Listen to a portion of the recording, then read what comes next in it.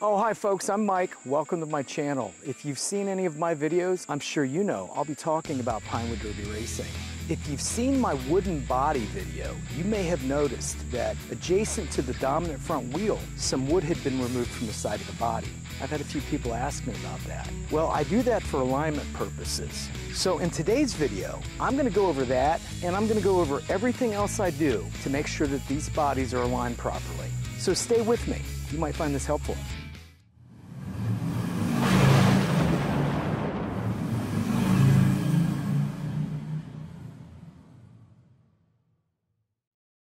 Okay, so folks, the alignment of a Pinewood Derby car is probably the step that's overlooked more often than anything else. Now, when I bring up alignment, I'm talking about two things. One, making sure that the front and rear of the car are the same height off the track. And two, I'm either going to remove or add mass at the front dominant wheel, on the side of the body at the front dominant wheel, to make sure that the car goes down straight and doesn't go down like slightly sideways. Now remember, we've already removed 1 16th of an inch at the front wheel. So that's my starting point. From this point forward, I will either be adding or removing mass. Now, the things that affect alignment are height of the front and rear drill, their relationship to one another, how much bend you put on the front axle, and the hub length of the wheel. This took me forever to figure out. I finally realized back in the day I was using the clear jig. Everyone was raving about the clear jig, and I loved the clear jig. But I finally realized in order to match the bend of my front axle, I had to shim the body up 30 thousandths in the rear to lower my drill hole in the backs. I feel fortunate that I actually met Brian over at turboderby.com. He took the time to help me figure out how high my front and rear drills needed to be. And then he created a jig that keeps me from having to shim. Now all I have to do is make sure that the front axle is bent the same amount every time.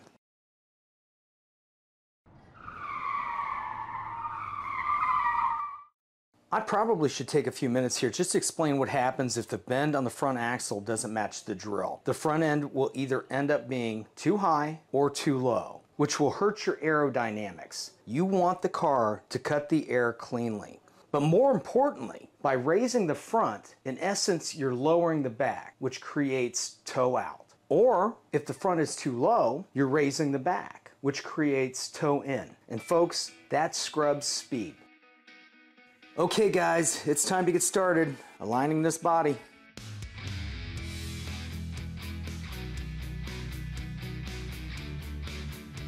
So the first thing I'm going to do before I do anything else is I'm going to drill this body. And before I waste any time going any further, I'm going to confirm my drill is good. And how I do that is I use a straight edge, two pin gauges that measure 90 thousandths in diameter, and two 123 blocks. I'll insert the pin gauges. Then I'll slide the body up to the one, two, three blocks and I'll see if I can see any daylight at all between the pin gauge and one, two, three blocks. I know a lot of other people have tried to correct a bad drill and they've had, you know, limited success. I don't normally put the effort into that. If the drill is bad and I see daylight between my one, two, three blocks and the pin gauge, I'm moving on. I'm going to the next body. About one out of every four bodies that I drill are good enough for me to race. Okay, so now that we've confirmed our drill is good, it's time to confirm the axle bend matches the drill. Now this step has to be confirmed before we can go any further. So we're going to start by adding all the wheels and axles and then setting our gaps to 10 thousandths of an inch. And by the way, yes, I'm aware that many others suggest a much larger gap. I saw one video where they were suggesting using your credit card. I measured my credit card to 30 thousandths of an inch I'm going to respectfully disagree. The, the fastest cars I've ever had all had small gaps. Okay, let's get back to alignment. My jig has a feature that I use to check to see if the front and back of the car are the same height off of the track. This screw right here. So what I do is I'll place the front end of my car directly over that screw and then raise the screw until it barely touches the bottom of my car directly between the two front axles. Then I'll turn the car around and confirm that the screw also touches the bottom of my car directly between the two rear axles. If you've determined that the front end is higher than the back end of the car, then you have too much bend on your axle. If you've determined that the back end is high, then you need to add a little more bend to the front axle.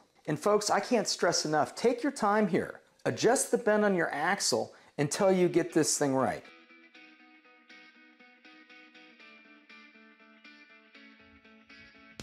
Okay guys, so to catch up, here's what we've done. We've drilled the body. We've confirmed that the drill is good, and we've confirmed that the front and rear of the car are the same height off the track. Now we did that by adjusting the bend on the front axle. Our last step is to tune the car laterally. So that finally gets us back to the area of wood we removed next to the dominant front wheel. Now what I'll do is make sure I've added everything I'll be racing with. In this case, because this is a basics car and no aerodynamics are permitted, the only thing I'll be adding are wheels, axles, and washers. If this was a car that allowed aerodynamics, then I would also be adding my air shield. Okay, so once all that stuff is added, I'll take it to my tuning board and I'll adjust the steer to about three and a half to four inches on a 48 inch tuning board because that's about how much steer I normally use when I'm racing. Now the next step includes this block of wood. Now I created this on my laser, but it's not complicated. I'm sure you could do it with a 2x4. It's 8 inches long, it's 1 and 3 quarters inches wide in the back to match the width of my car. I've narrowed the front to 1 and 5 eighths of an inch to match the rail width on a Pinewood Derby track. The last thing I've done is marked a center line. Now I've also marked the center line on the body that I'll be racing. Now it's simply a matter of placing the car on top of the block of wood and lining up the center lines. At this point, the front wheel should just barely touch the side of the wooden block. Now if the front wheel is keeping you from lining up the center lines, then more mass needs to be added to the body. I normally will just add washers until I can get the center lines lined up. If the center lines meet, but the front wheel is not touching the block, then more wood needs removed on the side of the body. So just sand more off until the wheel just touches the side of the car. But don't forget about your washer.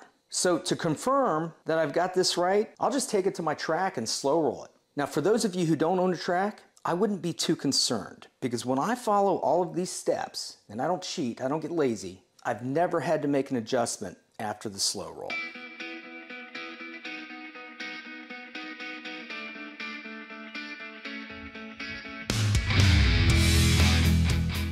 So I've decided to include a short section on the drill jig. Now this is not exactly the same one that I used in the video. Now drill jigs have come a long way since I started racing. I remember when I first began racing, a drill jig did one thing. It drilled the holes for the body. Now it does so much more.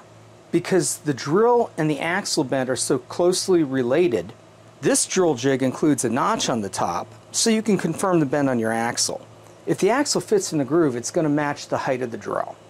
Now this jig also has that adjustable screw we discussed used to confirm body height and it has this window here used to mark how much wood to remove at the front wheel. The last feature I should mention is the additional bushing. If your rules say that you can't bend the front axle, this bushing is used to add steer to your body. So guys, thanks again for watching my video. If you've made it this far, I'm gonna assume that you're just as crazy about these little cars as I am. So please, if you're interested, like, share, and subscribe. I'm gonna pick a name at random, and I'm gonna give away the jig I used in this video. So anyhow, we'll see you in the next one.